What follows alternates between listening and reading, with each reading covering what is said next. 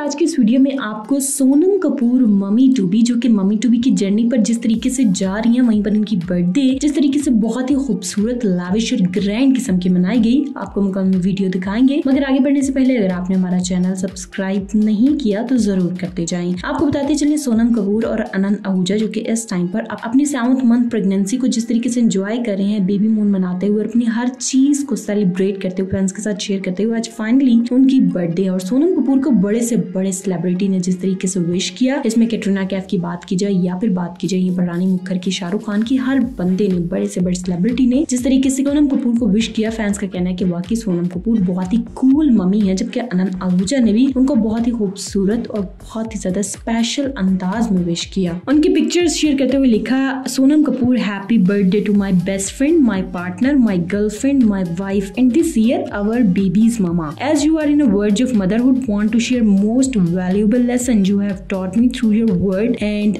action उन्होंने first पे जो लेसन उनसे लिया उस पर लिखा था importance of putting full focus and effort in every task we commit second the power of stillness and silence to develop our intuition and use that to guide us in the decision we make and the third one the value in enjoying each other's step each moment each sentiment to really make every day phenomenal happy birthday to the most special insightful powers Sonam Kapoor बहुत ही खूबसूरत अंदाज में अपनी wife को wish करते हुए दो pictures के साथ वाकई अनंत आहूजा ने एक बेस्ट हस्बैंड एवर का सबूत दिया। और यहीं पर जिस तरीके से सोनम कपूर ने उनको आई लव यू और फॉर एवर लिखा फैंस बहुत ज़्यादा बहुत ज़्यादा एक्साइटेड है कि इनकी बाकी ये ग्रैंड बर्थडे हमारे लिए बहुत बड़ा फिनोमिनल है। और बाकी एक हस्बैंड और वाइफ में अगर प्यार हो, फिर एक ग्रैंड बर्थडे सेलिब्रेट करें और फिर अपनी हर स्टेप को इवन के क्योंकि तकरीबन सात सालों बाद अब पेरेंट्स भी बनने वाले हैं तो वो हर चीज़ में बहुत ज़्यादा एक्साइटेड है। और ये बर्थडे उनके लिए इसलिए बहुत ज़्यादा स्पेशल है क्योंकि ये बर्थडे पर वो अपनी ज़िंदगी में पहली पहली दफ़ा है कि वो अपने न्यू मेंबर का इजाफा करने वाली हैं, यानी कि अपने होने वाले